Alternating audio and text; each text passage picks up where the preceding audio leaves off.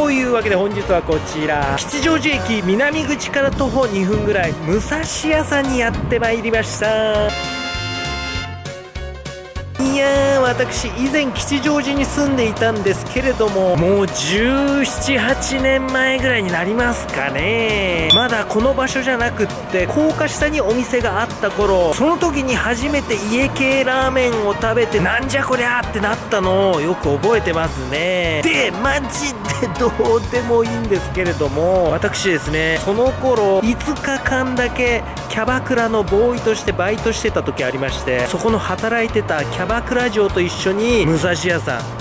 来たことを思い出します。いやどうでもいいんだよ本当に。果たしてどんなラーメンいただけるんでしょうか。楽しみですね。それで今日も張り切ってかかかかでしょさあというわけで今回も懲りずにやってまいりましたいやこちら武蔵屋さん私が覚えてるエピソードとしましてはですねまだ家系ラーメンの何たるかを分かってない時にですね店員さんに「じゃあお味の方どうなさいますか?」って尋ねられてもう何もわからないまま「じゃあ味濃いめ油多めで」なんて注文したところもうスープの上に1センチいや2センチぐらい油の層ができるぐらいね油が浮いちゃっててむちゃむちゃちゃ食いづらかったなっていうのをね覚えてますね。そうです。当時こんな感じのねお店でしたね。そして男の晩ご飯さん系列のお店だっていうのが分かりましたね。それでは現場の竹永さん。はい。はいこっち現場のあれが竹永だはい。というわけでこちらが中盛りチャーシュー麺盛り味玉の風そしてこちらキャベチャーズ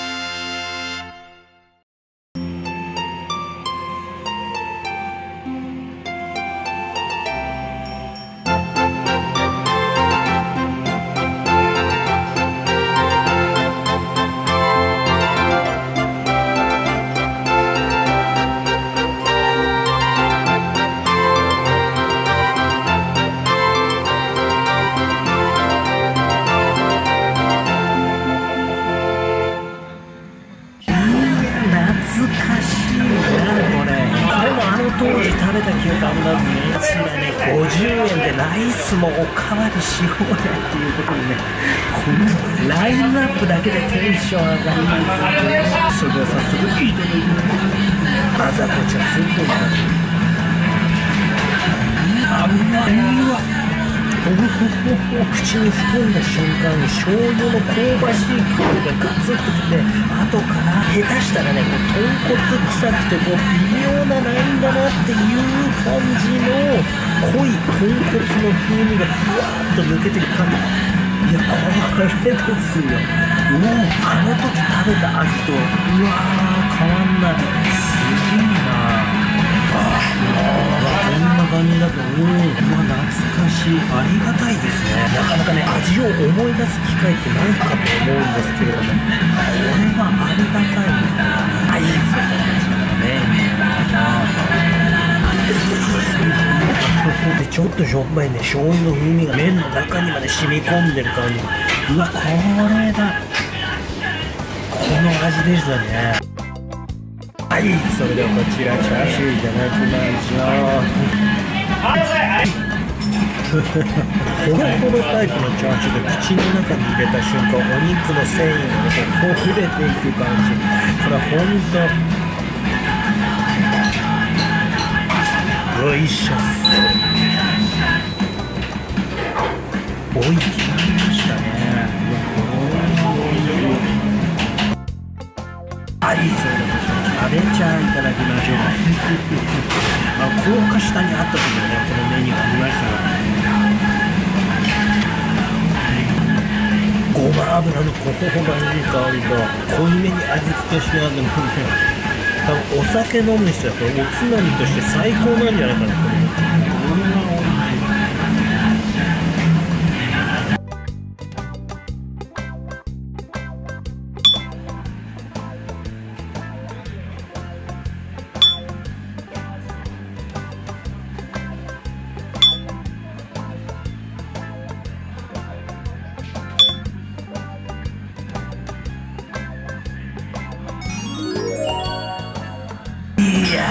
いやこのパワーアップしてこのフォルムにテンション上がりますね味にパンチが出てこれたまんないですねはいそれでですねご飯おかわりしてきました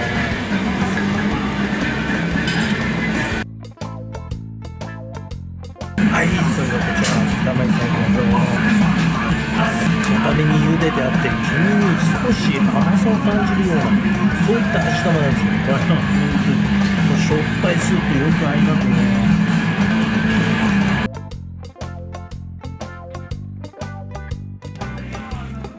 はいというわけでこちら完食です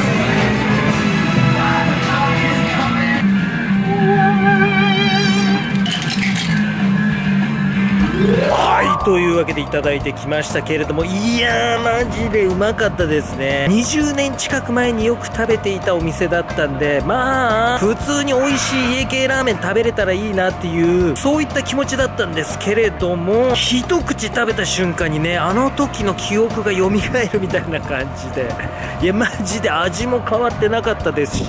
美味しかったですね。いやこういったお店ね末永く存続し続けてほしいななんてってしましたね。というわけで皆様もお近くにお立ち寄りの際はぜひ一度試してみてはいかがでしょうか、えー、なおですね毎度おなじみこちらからピヨッとカード出てまいります。そちらに関連動画やアンケートなどを添付してございますので合わせてチェックしていただけるとありがたいなと思います。そしてこの動画の最後終了画面のど真ん中チャンネル登録ボタン竹永おすすめ動画なんかもありますので合わせて見てみてください。